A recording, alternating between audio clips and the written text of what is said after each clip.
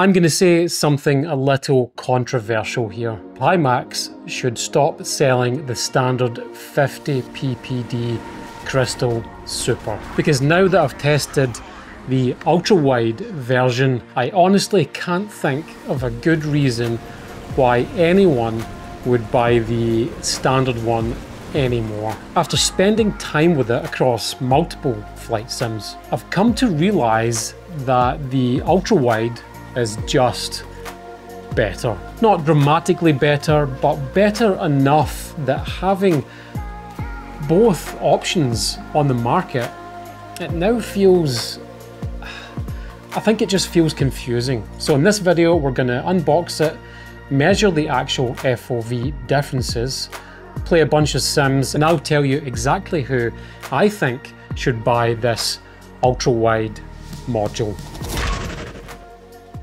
Pimax did send this ultra-wide module and the original Super for testing as loaner units, which are due to go back probably not too long after this video. Quick bit of context, if you're new to the Crystal Super headsets, the Pimax Crystal Super is a modular headset, which means you can swap these optical modules in and out, and that changes how the headset performs. The core of these modules that I'm testing stay the same. That's the standard 50 ppd against the ultra wide. There are others in the lineup like the 57 ppd and the OLED versions, but we're putting those aside today. We're just talking about the standard versus the ultra wide. So the same panels, the same resolution, the same refresh rate, but depending on which optic you choose, you get a different field of view and a different pixel, or you could say different pixel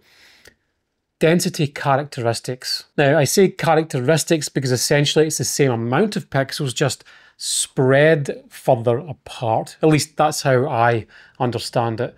And that in itself comes with some drawbacks, which we'll get into. On paper, the ultra wide is supposed to give you the biggest horizontal field of view in the entire lineup around 140 degrees horizontal according to Pimax. But to get there they've had to make some compromises and we'll talk about those in a bit. So here it is, pretty straightforward packaging from Pimax as usual. Inside you've got the optical module itself and that's really it, no fancy extras, just the unit. Now one thing I want to point out straight away, if you're already using prescription lens inserts like the HonsVR ones, they work perfectly fine with the ultra-wide module, just the same as the original module. The same mounting system, so there's no issues there. Installation is dead simple. You just pull off the fascia plate. Then, I don't know if you can see, there are two little tabs. Actually, we'll take the original lens inserts out. Now there's two little tabs. So if we pull the tab on the left and the tab on your right, it just drops out like that. So that's the standard one. And then the ultra wide will just snap in just like that. Takes less than 30 seconds, no tools, no fuss, and it's actually a very, very good fit. So we'll just clear some of this extra stuff off the table and I'll reinstall the face mask. And you can see how easy that just snapped straight back in there. Now, the weight feels identical. I don't notice any difference on how the headset sits on my face or the weight or the shift and balance. So exactly the same as the original. So if you're worried about that, don't be. We're going to backtrack for a minute and show you some first impressions footage when I first fired this headset up. Alright, here we go. Now, immediately you can tell there's more there's a there's more FOV certainly in the width I couldn't really comment on the height it kind of feels the same but the width feels like it's there. It's not a huge amount. I don't know what it would be, seven or eight percent, maybe a little bit more. As far as binocular overlap goes, it feels like it's the same as the standard version. The resolution is certainly, you know, you uh, well, certainly I can't pick it between the two. Feels like it's very much the same. Now, I guess one of the, I think the main benefit from this, from, from what I'm feeling right now, is an increased sense of being in the space of the aircraft. Now, obviously, you get that with every single VR headset, but that extra little bit of FOV, it's almost like an increased layer of that feeling. Is it going to make any difference to you spotting things out of your peripheral vision? Probably not. After this first few minutes of wearing the headset, I reckon it's just all about that feeling or increasing that feeling inside the cockpit. And that 8, 9, 10, maybe more, we'll measure it later, but maybe whatever that extra width is, it's definitely nicer than the standard 50 ppd version. Now, what I will say about all that is that it does feel more immersive. That extra peripheral vision, even just what feels like 10 degrees, makes a difference. Things feel less claustrophobic. When you're flying and you glance to the side or check your wing, you're just seeing that little bit more. The immersive feeling of being in the plane is just increased. Now I'm pretty sensitive to binocular overlap, but it's not the it's not the compromise that I thought it was going to be. And I spent about one to two hours in VR, which I kind of feel like is, you could say, most people's limit. So there wasn't much difference an eye strain compared to the standard unit. And just to backtrack a little bit about binocular overlap.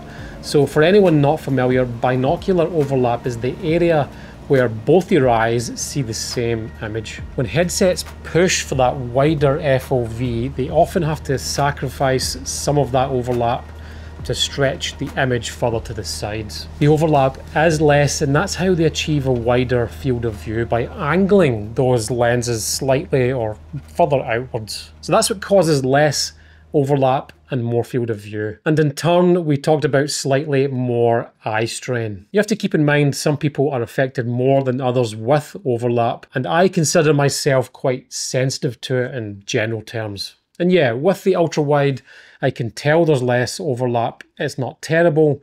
It's not like some headsets that just feel off, but it is noticeable. And after longer sessions, I do feel it, or at least I think it's a contributing factor to the eye strain. Is it a deal breaker? For me, absolutely not. But it's something you need to know about for anyone that's extremely sensitive to that. Okay, let's get some actual numbers here because I don't want to just go off of fuel. I've used an FOV measurement tool to get some concrete sort of data and I've been as accurate as I could with it. Now it's important to note that there's a whole heap of different factors that come into play here from the thickness of the foam around the face shield, the prescription lenses that you use, my face shape, how tight the headset is or how tight it's compressed to my face, there's just a multitude of different things that will make everyone's results vary. In my case, when I was testing it, I was using the Comfort face padding, which is thicker, and also the HonsVR prescription lenses. And the reason for that is that when you put the prescription lenses in or you attach them, the lenses with the standard face cushion, the lenses are almost touching my eyes. So you 100% need to use the thicker face cushion just to give the lenses that room that they need. So again, with the ultra wide module and the thicker face cushion and the lenses or the HonsVR lenses, I'm measuring right around 132 degrees horizontal. For comparison, the standard 50 ppd module with the same thick face cushion and lenses measured at 121 degrees. So that ultra wide is about 9% wider. So yeah, we're looking at roughly a 10 degree bump in horizontal FOV. And that kind of lines up with what I was feeling when I first tried the headset. The vertical FOV is basically the same. I measured about a 2% difference. The ultra wide coming in at 96 degrees and the standard at 98 degrees. And for the binocular overlap, I'm seeing 62% overlap in the ultra wide versus 72% on the standard module. So yes, it's all confirmed. Less overlap and a wider FOV. Now let's talk about how this actually performs in the Sims because that's really what matters. That extra FOV does make a difference when in the cockpit, but the benefit is not about seeing more in terms of detail. It's more of a sense of feeling like I'm in the space, being surrounded by more or surrounded more by the visuals. Earlier, I think I said it was less claustrophobic. And again, that's probably the best way to describe it. In games like DCS, it's the same thing, just more peripheral vision and the feeling like you're actually in the cockpit. That feeling is slightly increased. Is it game changing?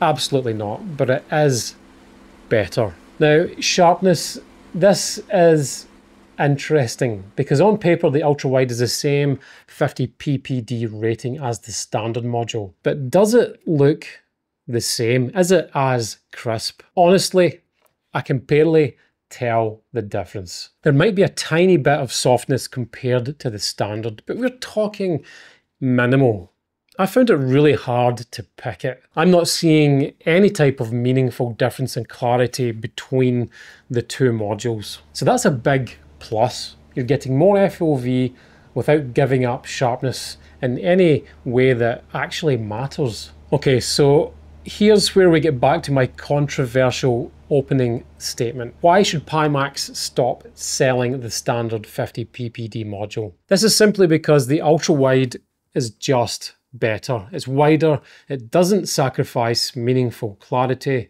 Yes, there is a bit less binocular overlap in the measurements but I don't think it's enough to be a problem for 95% of people. I could barely tell the difference. So now you've got this situation where Pimax is selling two versions of basically the same thing, except one is, you could say, objectively better. I think that's confusing for customers. I reckon you would ditch the standard 50 ppd version, keep the ultra wide as the default wide FOV option, keep the OLED module for people who want OLED panels, and keep the 57 ppd for anyone that wants maximum clarity and doesn't care about FOV. Three clear options, not four. Because right now, if you're a new buyer trying to decide between the standard 50 ppd and the ultra wide, the answer is just ultra wide every single time.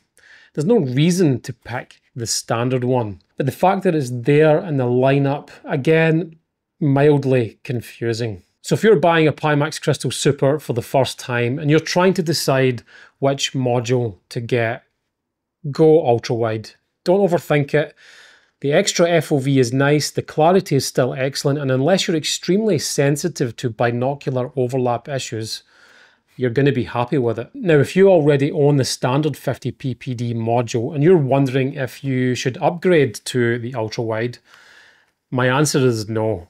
Don't bother. The difference is noticeable, but it's not going to be big enough to justify spending money on another module. You've already got a great experience with the standard, just save your money. The only exception would be if you're someone who really values every bit of FOV you can get and you've got money to burn, then sure, go for it. But most people, it's just not worth the upgrade cost. And if you're sensitive to eye strain or binocular overlap issues, then yeah, maybe go with the 57 ppd.